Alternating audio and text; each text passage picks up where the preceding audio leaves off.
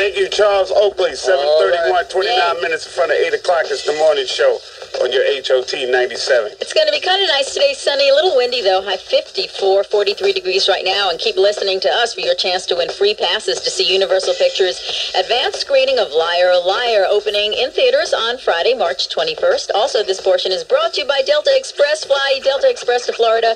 For low fares, call 1 800 325 5205. And we're joined in the studio this morning on Hot 97 by Stanley Greene, the president of The Box, music television you control. Good morning. Good morning. How you doing, man? Good, good. How are you? Where is The Box in New York?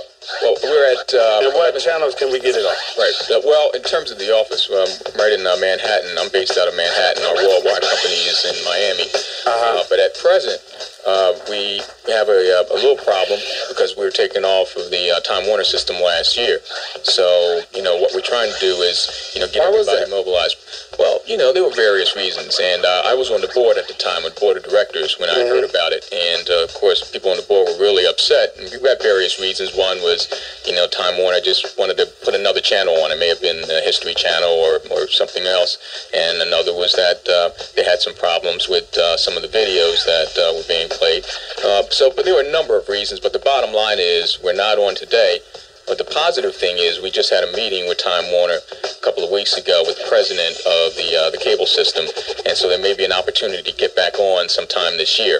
So that's where we're really focused right now. Do you feel like that could be, when you said that they had a problem with some of the videos that were being played on the box, some kind of a new form of censorship that's coming through and we don't like it then, and we don't watch it and we don't enjoy it, then the hell with it, take it off our cable system. But then they can put the History Channel on, and the History Channel is not always correct in the kind of history that they bring ap- across to people. It's not always accurate. Yeah, and I, I don't know if I can really uh, speak to that issue. I mean, I, I guess I just know what what uh, some of the comments that I heard, and uh, it's behind us now. The focus is at this point on how do we get back on? How do we get people to mobilize, to reply to research that that asks for the channels that uh, they want to see? Because what happens is uh, many surveys are sent out, and system, uh, cable systems don't get enough feedback from the people that, that watch the box. I mean, you know that they're out there, and you know how that works, but Right. many times the, the people that send in the reply are the people that pay the bills or the parents, and they may not,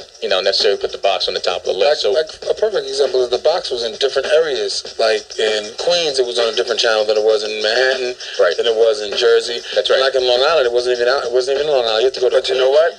Uh, uh, a lot of the other cable shows was on like that too, because I know for a fact MTV is different in Yeah, I'm Long saying Island than it is in, different- in because of different Manhattan, systems. in Jersey. How, does, how can the box? How can the box? You know, stretch out because a lot of people from Long Island, Nassau, and Suffolk, particularly, wanted to get the box. And Yeah. just What do you need people to there. do? What we need people to do is is to make sure that they're aware that cable companies do research, and they may want to call the cable company and say, well, you know, when are you, you know, doing research? Or just call them and tell them that uh, you know they want the box. I was a cable operator. I used to run a cable, uh, two different cable systems, and when people wrote letters to me and they called me. That made that particular programming network top of mind so that when I got into the meetings with my engineers that they may tell me that they have a new channel available, what do I want to put on? I'm thinking about the uh, the channel that m- most of the people uh, sensitized me to. These are the people that called in. These are the people that wrote letters. And I said, okay, well, at that time, a few years back, sci-fi was big. Cartoon Right. Network was big. Right. And so I said, look, we got to find room for it because people want it. So cable companies will respond to, to the people. They'll put History Channel on because when they do the survey, when it com- comes back, History Channel may be ranked number one. The bottom line is we have an opportunity, listeners of Hot 97 have, have an opportunity to send postcards or send notes into the cable operator and, and tell them that they want uh, the box. Now, one of the things that we're doing in other markets that we want to do in New York is is to break new acts. I mean, there's a lot of talent out there. We all know it. Uh, people have a hard time, you know, getting some exposure. One of the new things that we're doing this year is we're giving people an opportunity to send in their videos, and we put them on the box and give people an opportunity to to, to watch them. You know, Right. we don't program it; the people program the box. So, uh, you know, this idea of helping new acts is something that we really are focusing on in other markets. And as soon as we get back on in New York, we want to make it happen for New York. Now, can you Okay. explain to us just briefly, real quick, how does that work where the viewer programs the videos they want to see? Well, what happens is, you know, there's a menu. It's, it's sort of like the, the old jukeboxes in uh, in the restaurants, where you know you have a menu of uh, of songs or videos that you want to choose and a selection number, three digit code associated with that particular video. And all you have to do is call this 900 number. Uh, it'll prompt you and ask you what video you want to watch. You put in a three digit code and your video comes up, usually within 15 minutes or so. So now, and, and it comes up on everybody's TV screen, not just yours. Not just like it's not like pay per view in that way. And with pay per view, you order something, it just comes up on your on your set. With the box, you order something, and you ordered it for everybody else too. So you are actually programming the network. Right. Okay, we're talking to Stanley Greene, president of the box. I want to come back and, and talk to you about something that uh, we've been hearing about as far as that we program the music that we want to hear. But what are y'all, what are y'all going to do now to stop the record companies from making people pick up that phone and go order this video, order this video, order this video, Right. and the video plays over and over and over again. Right. And then the people are actually really wanting to see Right. something else can't even get their video played because the record companies is flooding the box with calls. So we'll be back with more of that. This is Stanley Greene, president of the box, joining us on the morning show on your HOT 97. Right. 741, 19 minutes before 8 o'clock, and say good morning to Deshaun, who's the receptionist here at Hot 97, and who happens to be on Nutra RX, only at Nutrisystem. Good morning, Deshaun. Good morning, Lisa. How are you doing? Hey, Deshaun, we have to get you on their new TV spot I saw last night. Which you know, one? you know, everyone that's lost weight, they get on TV and go, Hi, I lost 20 pounds. Oh, yeah, I've seen that one. Now, you've been on uh, Nutrisystem for two weeks, and you've already lost, what, almost seven pounds, right? Yes. And you get weighed in again on Thursday. Yes. Okay, 1 800 321 Fin. NutriRx, only at Nutrisystem right here at Hot All the 97. flavors of hip hop, On kids. Hot 97, where hip hop lives. You know what I'm saying? You better run and get things right and uh, uh, Of the times. Eh, eh. It's Hot 97, 753. That's 7 minutes for the hour of 8 a.m. here on the HOT 97. Early in the morning. Sunny and windy today at 54, 43 degrees right now. This portion being brought to you by Chase Manhattan Bank. And we're talking to Stanley Greene, as president of the box, music television you control. Sir, good morning and welcome to the morning show. Good morning. Thanks Once for having again, me. All good. It's good to have you here, man. Yeah. We're talking about the box and, and, and where you guys going. Where do you see the box going in the into in this next millennium? We're almost to the year 2000. Where do you see the box going? Oh, that's a that's a great question. Because you know, the way I see it, the reason why I joined the box, I worked in cable. I was with uh, Bell Atlantic, uh, setting up for interactive TV in the future. The box has always been there. The box has started out as an interactive music video channel, and this channel is well positioned to be the leader, not only in interactivity in the next millennium, but also in, in entertainment. Uh, especially as it relates to music, because and one of the things that's going to springboard us is something that we're working on now, and we're doing it in the Philly market. Uh, we're doing it in LA. We want to get back on in New York to do it in New York, and that's breaking local acts like no uh, channel has done it in the past because we have the technology to be in the community, uh, getting videos from that particular community, and actually getting exposure to local community acts. So we, you know, we see a future in inter- interactivity. We're going to continue to be the leader there, and we're going to be the leader in music in, in general, along with uh, our radio partner Hot 97. Because between the two of us, you know, we can make things happen uh, artistically and musically in this market. Is there a criteria for the videos that go on? Is there a certain standard and practice of what the box will play versus what the box won't play?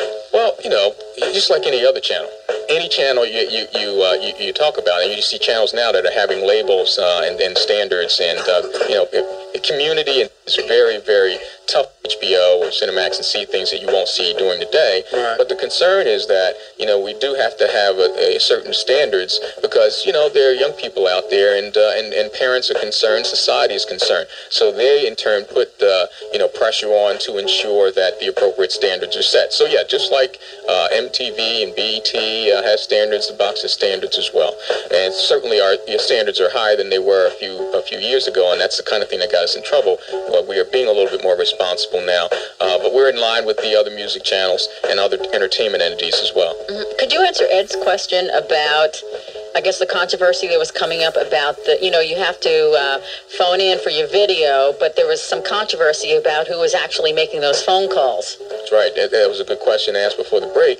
Um, in the past, you know, let's let's face it, you know, there were there were record companies that were out there calling the 900 numbers too, because you know, obviously, you know, record companies want to get those records distributed and they want the acts to be broken. Now, that's and that's okay, but when it gets to be excessive, it becomes a problem because what we're here to do is serve the viewer. It's music television, the viewer controls, uh, and no one else. So we've instituted uh, uh, a policy and we've changed the software that uh, limits the amount of time certain videos can play within a certain time frame so that you don't see the same video Like you six know, times in a row. Yeah, six times in a row. That's just not good. Um, so that that change has been made, and uh, as we move forward, you won't see that kind of thing happening.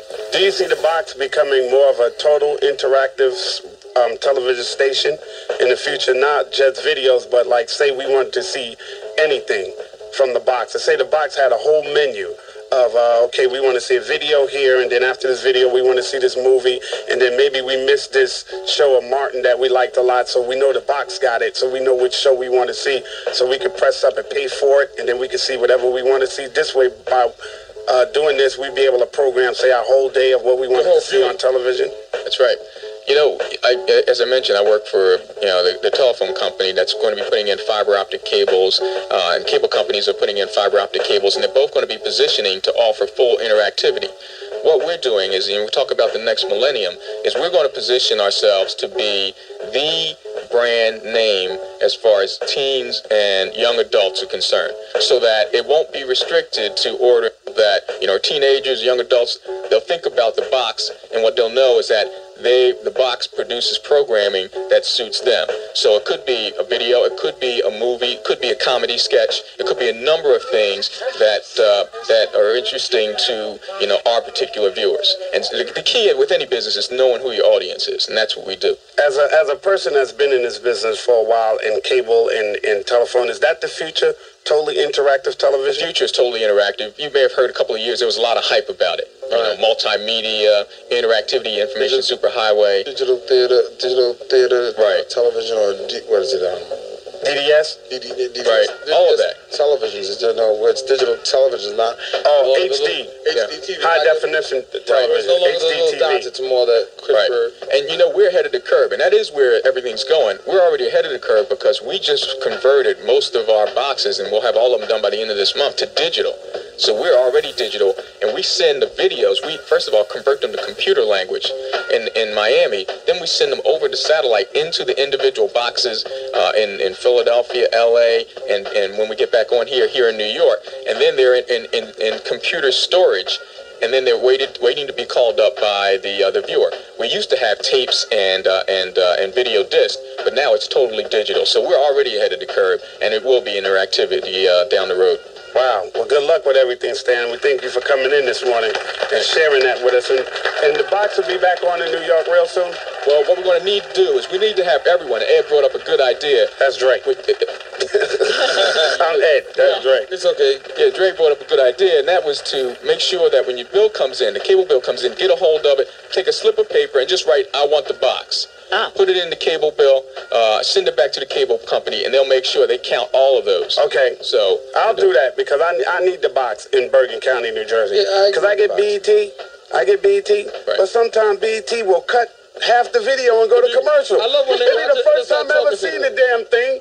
And the next thing I know, here comes Kellogg's, eh, right? Like Right. At, at the end. And so, you know, sometimes the best Right. stuff in the video is at the end of the video. Yep. Right. You know, and the, please, find out what MTV, MTV just is not catering to brothers and sisters at all. Right. I don't get to see my favorite artist on there. I got to see this guy with a big bone through his nose sit there and talk to this other ill-looking guy that like he's strung out on heroin or something on MTV. So I, I know really miss, I mean, too. really, I missed the box because with the box, at least I can sit up and say, man, I didn't see that. Right, right, Pick up the phone.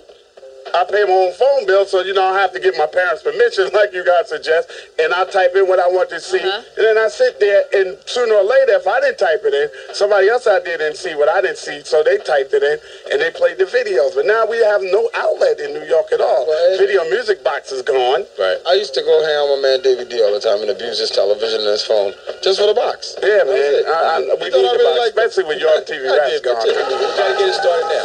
Right now, call the 97 at 1-800-223-9797. Gets four tickets to see 702 perform live at Hot 97 night at Ringling Brothers and Barnum and Bailey's greatest show on earth.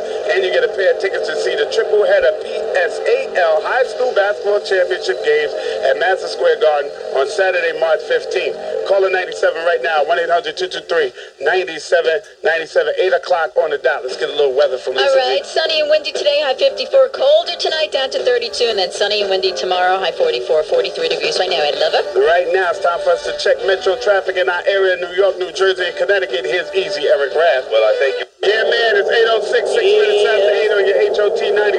It's time for us to jump into the traffic jam Yeah. with DJ Scribbles on turntables 1 and 2. Alright, All right. Scribbles, it's on you, baby. Do your thing on Hot 97. All right? It's hot 90. Yeah, Hot 97 in the morning. It's 828, 28 minutes after 8 o'clock. It's the morning show. Hello. Not bad today. Sunny, a little windy though, high 54.